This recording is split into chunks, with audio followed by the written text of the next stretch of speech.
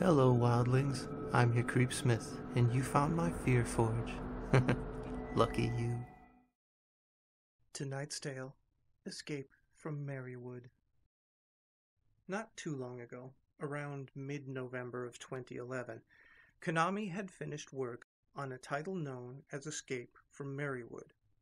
This particular game was more of an experiment in design and advertising rather than a AAA project, not given any advertising or knowledge to press of any sort, and initially only released in a few locations as a market test. Due to the minimal cost of its development, such an experiment was not at all expensive for the company at first.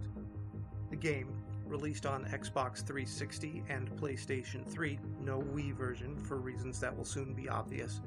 Only in a few select GameStop stores peppered throughout the states of Massachusetts and Maine, included a special code to be entered into their website, which would allow direct feedback to the marketing and PR departments.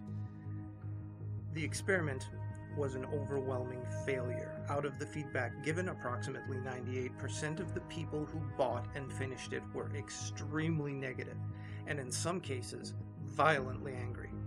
As damage control, the game was pulled from shelves, a complete product recall issued that would return the customer's money at double retail price, as well as hefty donations given to the stores and employees to keep quiet about it.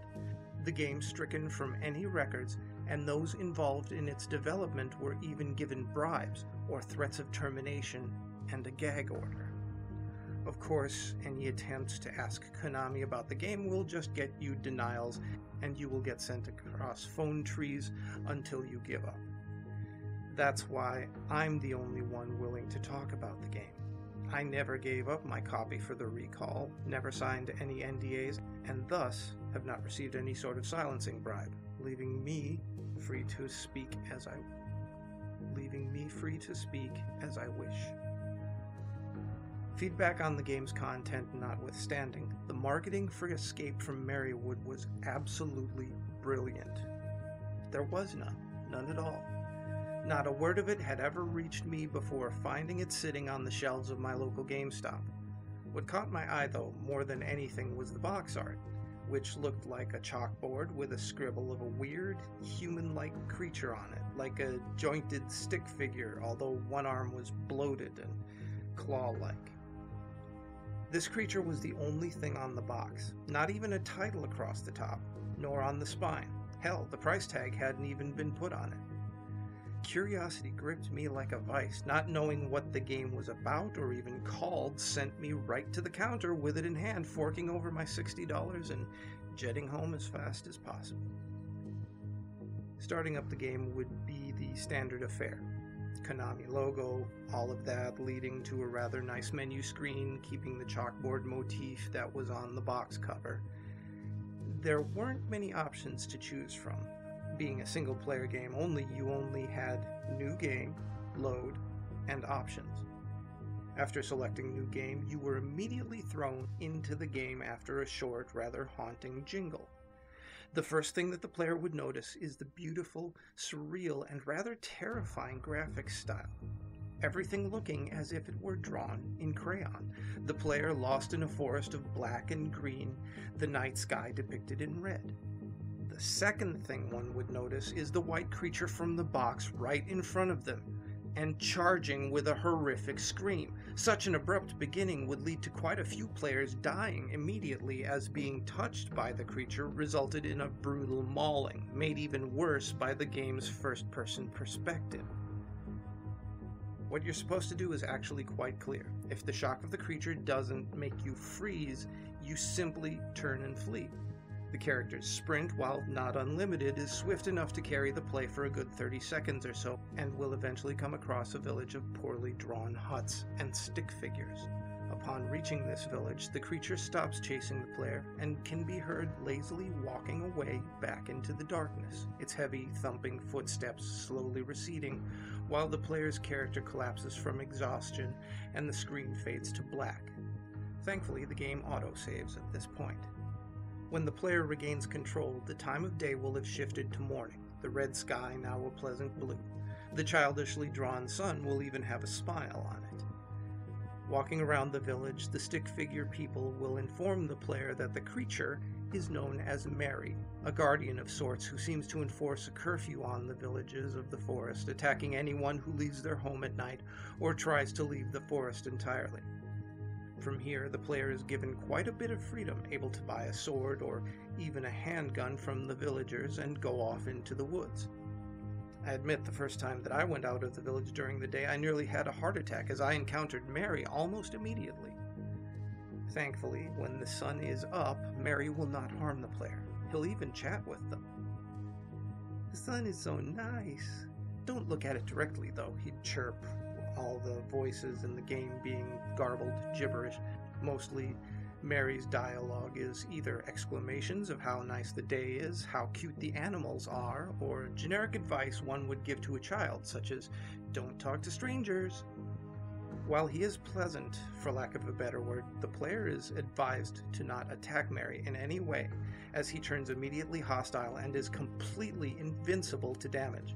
Getting hit by his massive claw arm results in a rather piercing scream from the player character, as well as the screen starting to rip as if it were paper being clawed at by a bear, until being entirely sliced to ribbons and falling away with You are dead, a sad face emoticon and an option to continue or quit. However, so long as you do not attack Merry, attempt to go past a certain boundary on the map, helpfully outlined in red, or leave the village at night time, the player can pretty much ignore him, although they may also talk to him to get new dialogue, and that will be explained later.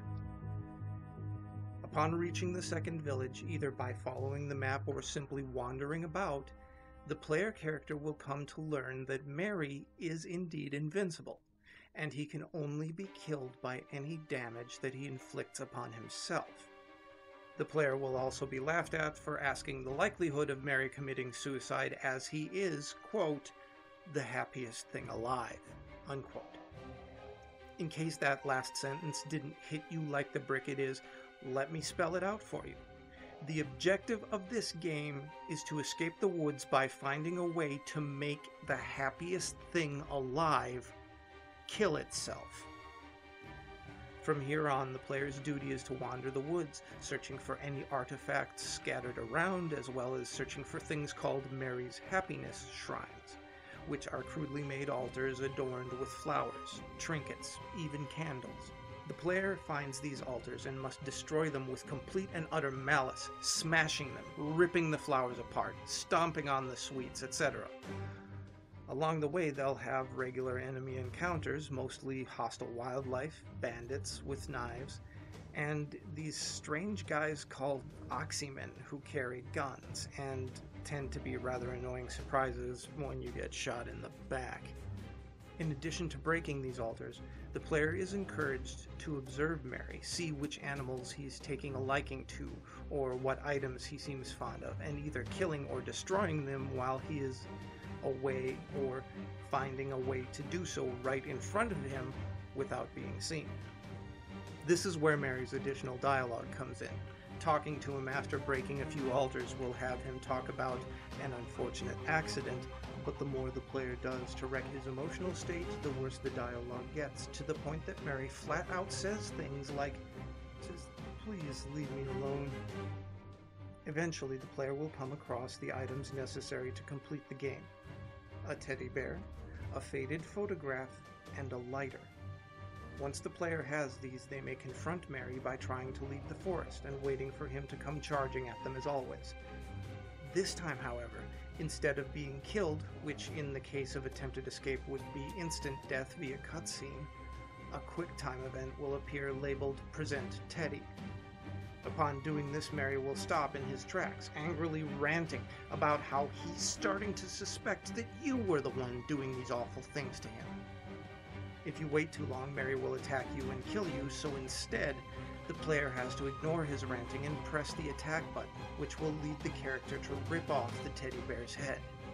Merry will screech in an agonized fashion, his angry rant turning to one of a child whose pet just died, and from this point, he won't attack the player.